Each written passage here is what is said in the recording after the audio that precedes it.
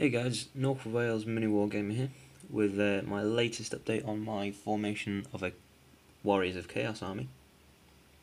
Um, here we find I've finally got my Skull Crushers of Khorne done.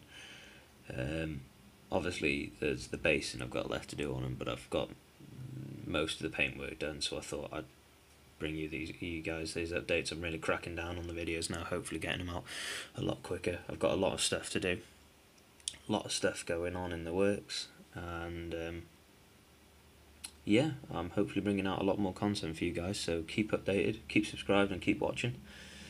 Right we'll have a look a bit of a closer look at these guys then. So right we'll start off with the standard bearer. Right here got the standard nothing fancy on there just stuck to the just stuck to the old painting the symbol gold on there. I'm going to do a bit more work on the skulls. I'm going to highlight them with, um, I forget what it's called now, Karak stone. There we go. Um, and then there's some little touch-ups here and there that need doing, but other than that, this guy's pretty much done.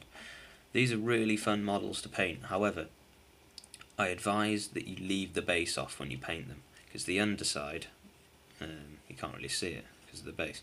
As you can see, like the metal parts here, they go all the way underneath. Ah, there you go. You can see it there, just in there. They are extremely difficult to paint with this base on because obviously the angle. Ooh, shaking the camera a bit there. As you can see, it's a bit awkward to get in at. So if you remove remove the base, actually this guy is actually falling off the base a bit.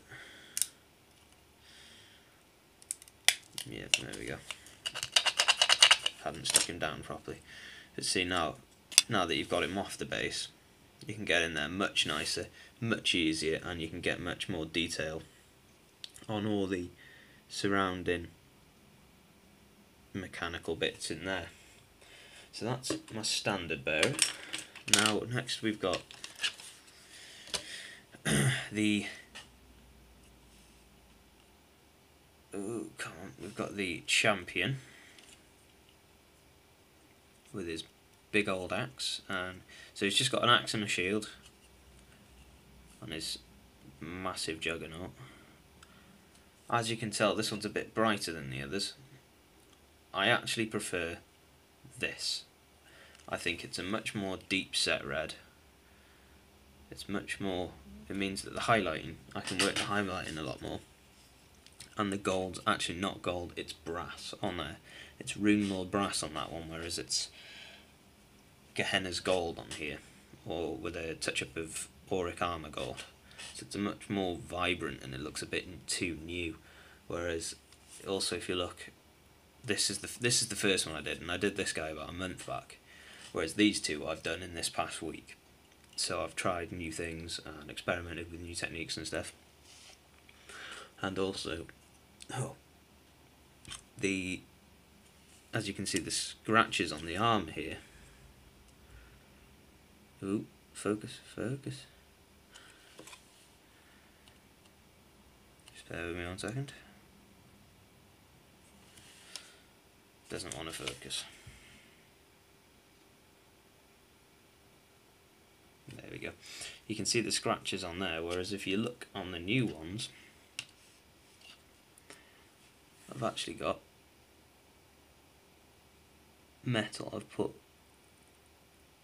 still I've put like a metal as if the chip the paint the paint's been chipped off, so that it looks much more realistic as if um, an axe has hit it and peeled off the paint as well on the sides. So it's not only dug into it, it's worn away at the sides as well, done a bit of rusting sort of thing. Done it all over the front here.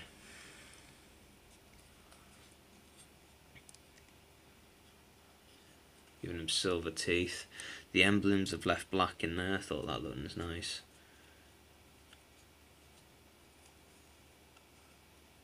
Yeah.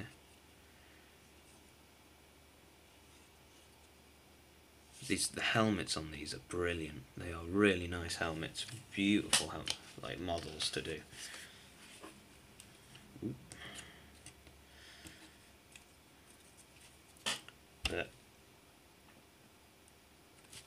Yeah, so these are really fun models to paint. These are brilliant. Quite, they're quite easy to put together as well. Actually, there's a lot of bits, but they're quite easy. They're not, they're not bad at all.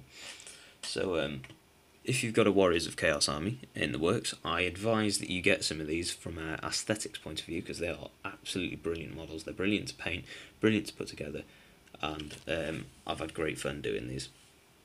So I'd suggest them to anybody who's trying to start a Warriors of Chaos army.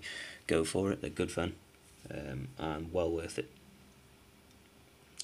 Um, yes, on another note, however, if you haven't watched my previous video, um, please go ahead and check it out. It's about um, the the actual video is called Blood Ravens and Future Plans. However, it is predominantly about what I'm doing in the future. I am going to be starting a Space Marine army, and on that video you can go, you can in the comments write either you can vote for the colour scheme of my new Space Marine army. So it's going to be either Salamanders, Imperial Fist, or Blood Ravens. Just write the name of the chapter that you want to see me do, and watch the video, obviously, and subscribe if you want to follow along when the army does start coming out. But get your vote in. Get what get what you want to see on this channel. You know, I'm doing this for you guys. So, you know, get down there, get your vote on, and uh, make sure you, you vote so that your chapter that you want gets on gets on my channel and I start doing it.